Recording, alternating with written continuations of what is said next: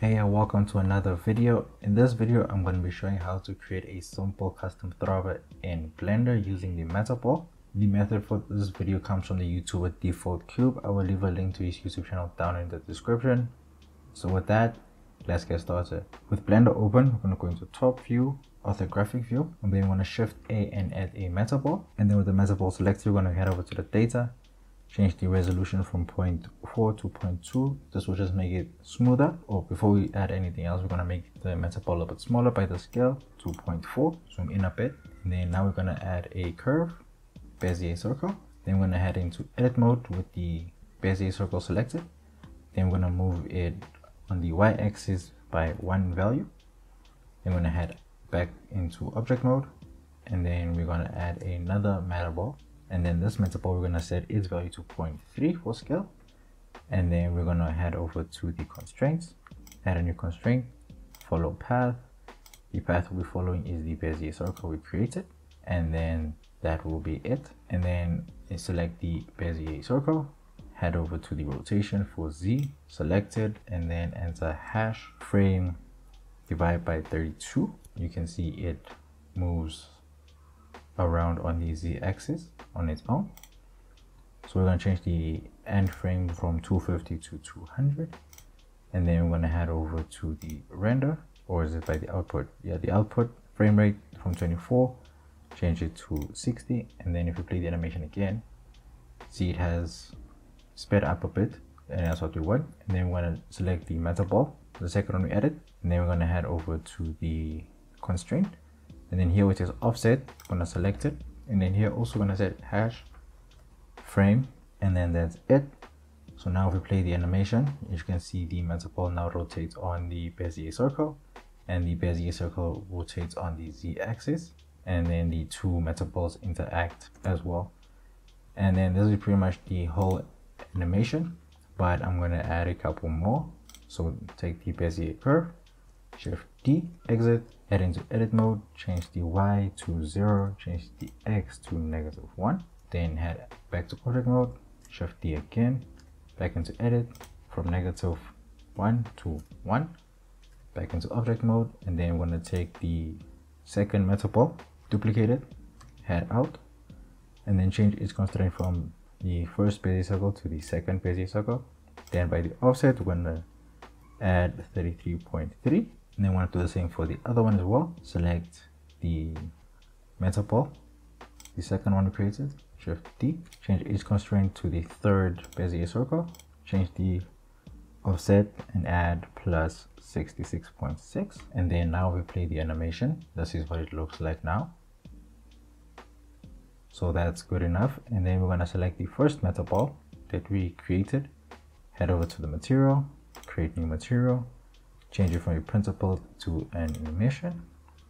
Change the color. I'm going to change it to the regular color for the tutorial here then the strength from 1 to 10 and then if we go into rendered mode you can see there is now a color emitting from the metaballs if you select any of the other metaballs apart from the first one the material will not be applied. So you have to make sure that the material you create is on the the original metaball that was added to the scene and then we're going to add a camera add camera and then we're going to press 0 to go into camera view and then just set it up properly so that everything is within frame. Okay let's just see at the extremities drag it out a bit. I think that should be good enough. Let's see. Okay drag it out a bit more. Okay that's fine. Everything is now covered within the frame. And then I'm to add a little bit of bloom, but you can't add bloom the way we used to add bloom in Eevee, where we just select Eevee and then on the settings you'll find the bloom there. So either way, the, the method for adding bloom to Eevee or cycles will be the same. I'm just to stick with cycles. And then before we do that, just remember to head over to film and then remember to check transparent so that you get the transparent background. And then by the render output, PNG, RGBA, and then your color depth incorporation, you can choose to your liking. These are the settings. Render region. Just make sure that you only render out this to make it a little bit quicker. And then we're going to render out an image close the results and then we're going to head over to compositing. And then in the compositor select use nodes and then shift a look for a viewer and then drag from the render layers image and connect that to the viewer drag these two nodes the composite viewer over to the side. If you hold shift right click and drag over the two noodles it will combine them into one. And then now to add the bloom going to shift a and then look for glare. And then just drop this over the noodle. And then we now have that. And then the one i'm going to use is the ghost glow. If you want to use the bloom it's the first option.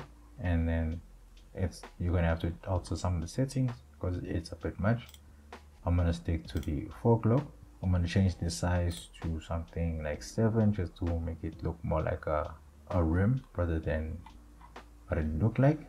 I'm happy with that. And then i'm to head back to the output. Select the output folder. And then once you select your output folder to render out all the frames you're to press ctrl f12 and then I'll come back once everything has been rendered out. I'm done rendering out all the frames. Midway I did switch from Cycles to Eevee simply because Cycles was taking a while to render out the images and I didn't want to wait that long. But regardless of whether using Eevee or Cycles, the settings will be completely the same. If you don't want to wait a long time, then Eevee would be your best option. Now I'm going to check up on the render results.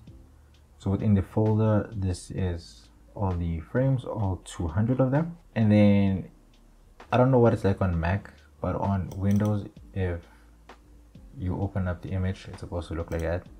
And if you look at the thumbnail if it has something like this that looks like it has a drop shadow then it means there's an alpha applied to it. If it's a solid background then that means that when you rendered out the image you either didn't select it as png or in the render settings you didn't go to film and then click transparent.